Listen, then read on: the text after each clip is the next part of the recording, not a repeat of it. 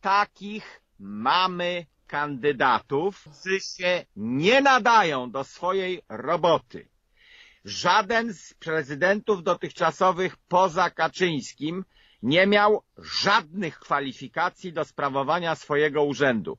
Bo to, że Duda jest porządny chłopak, to w porządku, ale na księgowego na poczcie. Natomiast, żeby być prezydentem Rzeczypospolitej, to trzeba mieć dryg do większych rzeczy. Żaden z nich niestety nie miał drygu do większych rzeczy, poza Kaczyńskim, który się obracał w polityce międzynarodowej sprawnie.